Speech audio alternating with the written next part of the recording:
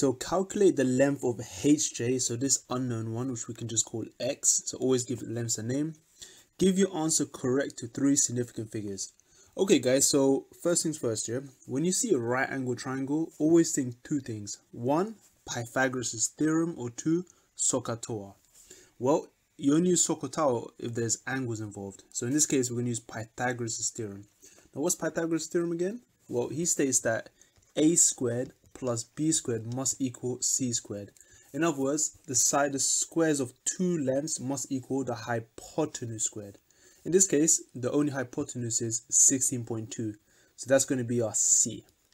This means that A and B could be anything. So A could be this one and B could be the other side. Now putting this into the formula, well, A squared plus B squared, this is essentially 11.8 squared plus X squared must equal 16.2 squared. And this is straightforward now. All you gotta do is just rearrange make X a subject here.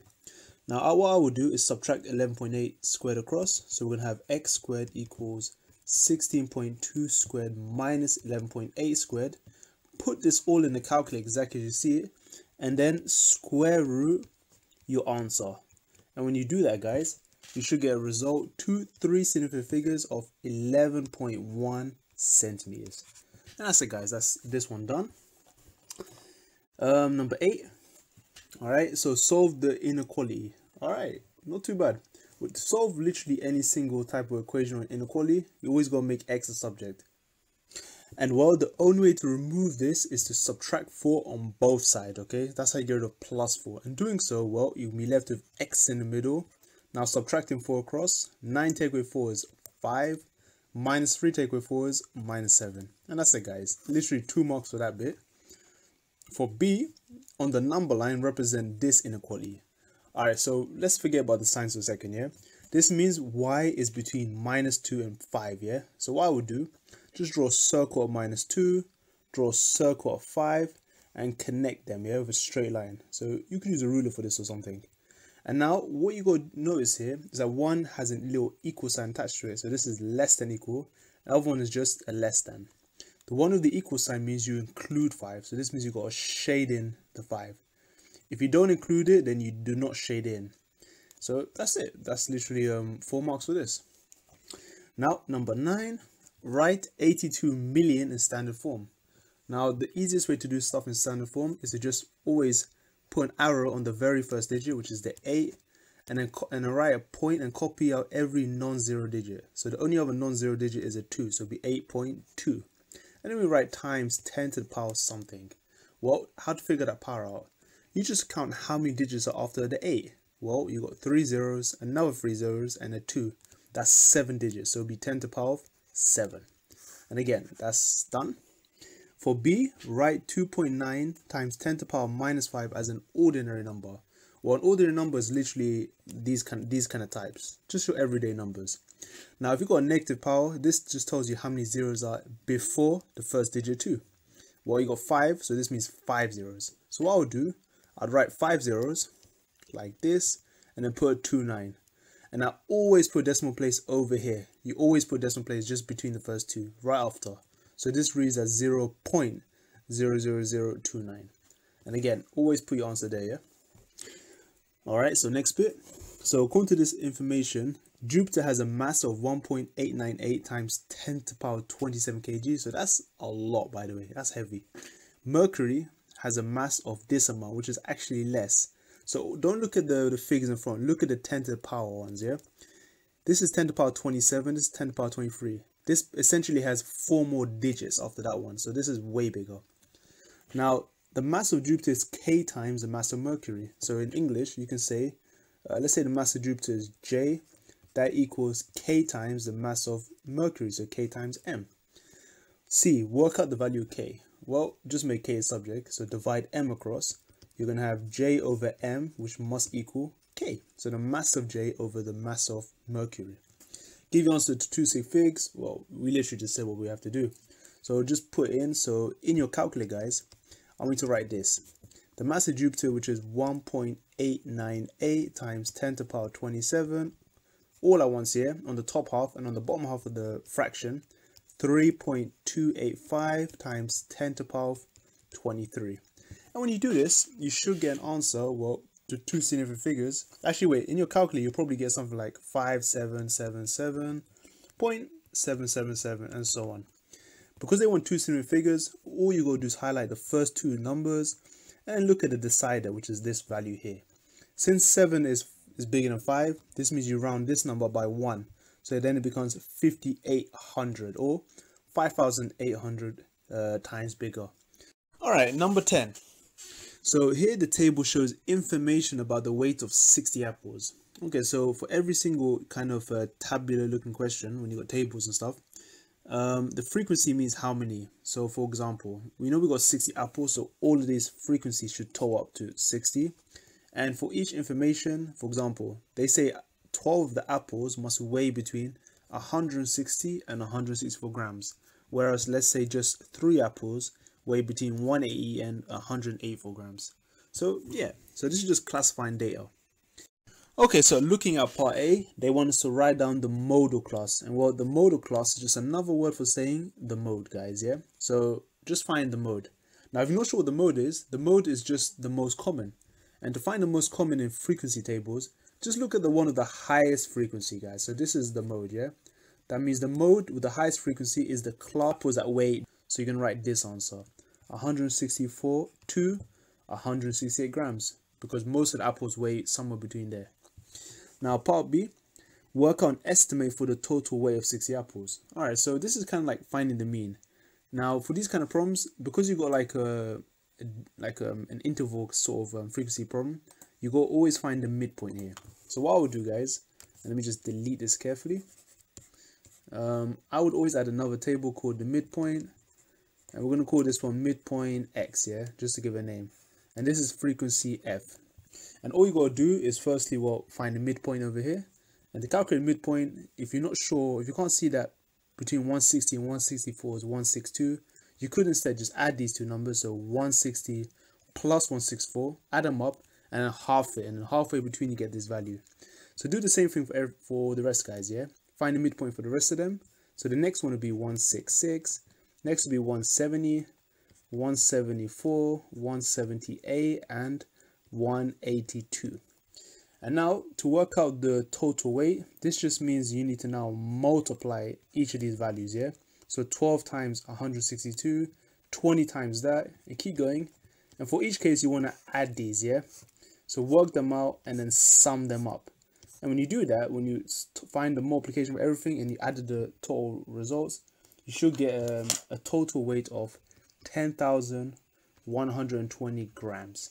So that's how many old apples weigh, yeah? Because you got, for example, you got 12 of them. On average, they're 162 grams each. Just multiply them and then sum them up.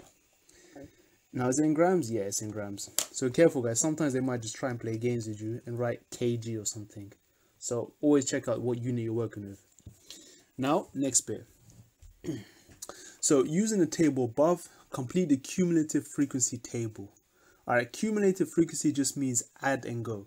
So notice how the weight class slightly changed, yeah? For example, over here you had uh, like 12 apples that weigh between 160 and 164. So you should write that there, which is the same. However, the next group like now is between 160 and 168. And this was 164 to 168. So what they did, they kind of included they kind of open the range a bit. So this means they're including as you go. So be 12 plus 20. So now you have 32 apples in that way. And well, to make it easy for you guys, just add and go. So all you gotta do is add and go. So you got 32 now, add another 14. 32 plus 14 is 46. Um, add 7, which will give us 53. So this is kind of a bit, yep. And then add 4 and add 3. This will give us 57 and then finally 60 so this means by the end you should have all 60 apples between the smallest weight and the biggest weight okay. All right now scrolling down the part d guys it says on the grid draw a cumulative frequency graph for your table. In other words we got to be plotting this now. So the way to plot this comfortably let's have a look at the graph. You got weights across the x-axis and you got cumulative frequency across the y's. So this means your x-axis, which will include the endpoints. Yeah, so always do the endpoints. Why do I always circle them like this? Yeah, and this is going to match up with the y values of 12. So this could be your x-axis and this would be your y. And yeah, just have to plot everything, yeah? So let's do the first one. So you got 164 and 12. So this means 164. Oh god. So let's see. So well, it's 5 across here and it's 10 blocks. So every block is a half. So every two blocks is 1, yeah? So that's 61, 62, 63, 164. And this is going all the way up to 12. So we've got to kind of repeat this for, whew, so this is kind of long. Let's repeat this for all, yeah? So 168 and 32, 168, 6, 7, 8. So 168 is here, guys. And that goes up to what again? Uh, 32. So 168 stretch up to 32. Anyway, I'm going to quickly do this here. So we're going to repeat this for the rest. And now to make this complete, always draw a nice curve here. So I'm going to zoom out a bit. Um, curve should be, oh, this is going to be hard. It's going to be, it has to be like a snaky curve, here. So this is a bit hard. Yeah, something like that. All right, a nice little snaky curve. Yeah, so this that's so that's it. That, that's just um, part D done. Now looking at E, yeah? so work out estimate for the interquartile range. So the IQR. Okay, so interquartile range means the difference between the upper quartile and the lower quartile. Now to work out the upper and lower quartiles of these kind of problems, what I would do is just firstly ask myself, all right, so how many apples we all have altogether? Well, we've got 60 apples. Now, lower quartile means find the first quarter. Well, that essentially means one quarter of 60. Well, one quarter, one quarter of 60 is just 15. So this means that the low quartile is actually over here, corresponding to, um, yeah, 165. So this is the low quartile. And the upper quartile is 3 quarters of 60. And 3 quarters of 60 is just 3 times bigger than 1 quarter, which is now 45. So we draw a dotted line over here, corresponding to the upper quartile, and it hits there, and you just keep going all the way down. I think that's to smack around here, what about 171. So by the way, guys, because I'm doing a computer, it might be a bit inaccurate. I'm not completely sure, but always double check the mark scheme. But more or less, this is the kind of graph you're looking at, yeah? So yeah, so this is the upper quartile, so we write here, and that was about 171, yeah? And this was 165. And well, the interquartile range is a difference. So subtract these two values and you should get, well, 6 grams. And that's it. That's the end of this question. Alright, number 11. Solve the simultaneous equations. Okay, in this case, both of these equations are linear, meaning there's no x squared or y squared terms here. Now to solve these nice and easy, my personal trick is to always multiply the top and bottom by whatever the values are in front of the x. For example, on the top half, we want to multiply the first equation by 4, and on the bottom, we want to multiply this by 7. And the reason why we do this is because we want to make it both 28x. And then when we subtract the equations, the x will go. So let's have a look here. If you do the first one, times it all by 4, you're going to get 28x minus 8y equals ooh, 4 times 21 164 okay for the bottom half multiply by 7 again you're going to get 28x which is objective plus 3 times 7 is 21y equals 77 now here we just want to subtract these two yeah? And doing that will get rid of the 28x so subtracting these two well that becomes nothing. Minus 8 take away 21 gives us minus 29y yeah? So be very careful with the subtraction.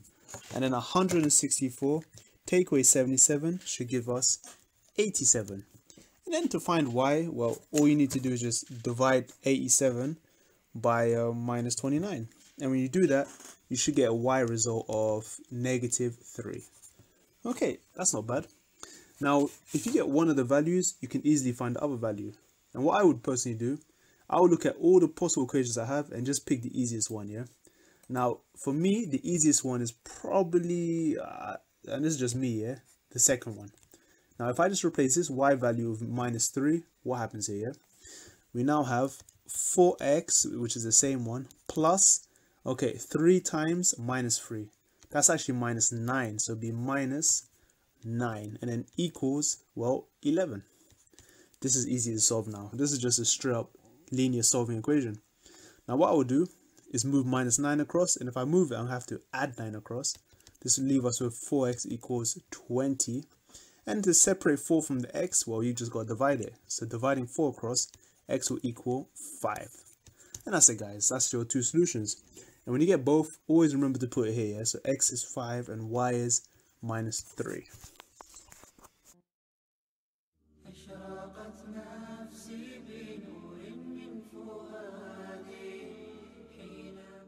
I just want to thank you guys for coming to this end of my channel and if you've enjoyed the content so far just go into my channel page hit the subscribe button and hit the bell for more notifications and if you want you can do personalized or all and that way you won't miss any future maths or educational videos. Anyway guys thank you for watching and see you next time. Ciao